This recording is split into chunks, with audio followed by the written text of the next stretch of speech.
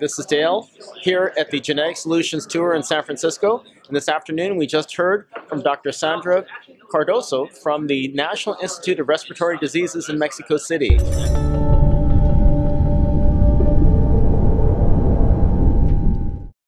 Sandra, thank you for a really interesting talk. Thank you for inviting me. Can you share with us a little bit about what the talk We're well, we are very interested in looking at whether the gut microbiota composition, um, its effect on HIV infection, how does it contribute towards uh, HIV infection and HIV progression. So we are just classifying the gut microbiota composition uh, using 16S ribosomal RNA gene profiling, and we use the Ion 16S metagenomics kit to do so. Yes. The first work you were doing just V3, Yes. the fusion primers on the PGM, is that yes, correct? that's correct. That's with the uh, uh, biggest cohort of, with Mhm. HIV infected samples. Yes. hmm And then as far as the microbiota, you were able to get at a Bacteroides family level or Yes, phylum down, level. down, Mhm. down to with the V3 fusion primers Mhm. down to family genus level. Yes, Yeah. that's correct. And then you took that work a little further using the 16S metagenomics kit, Yeah. and that covered a lot more variable regions, right? Like seven Yes. out of the nine regions. Yes, I believe that uh, the kit spans mm, seven out of the nine hypervariable regions. And it was able to get you a better level of Oh, yeah. species identification. Yeah, that's correct. Yeah, we were able to classify down to species levels. hmm And then as far as using the kit itself, it was really straightforward because Yeah. it was yeah. just two tube PCR. Yeah, it's a two-day lab work, Mhm. a workflow, very easy, and Ion Reporter software for data analysis, also very easy to set up.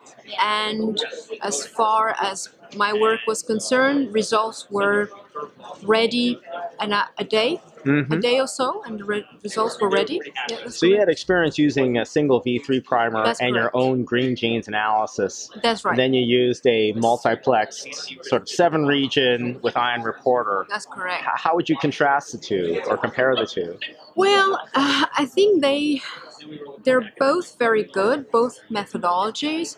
Um, I think that if you are brand new to 16S metagenomics, I definitely would use the kit because it has the added value of having the Ion Reporter software, so you can do all your data analysis.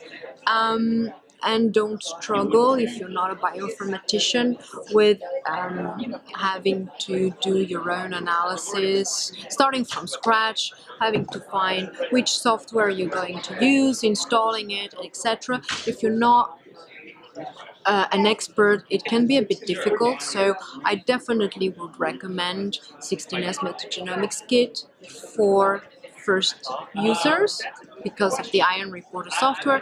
And also in the lab, very, very easy. In two days, and that's it. Yeah. Yes. Yeah.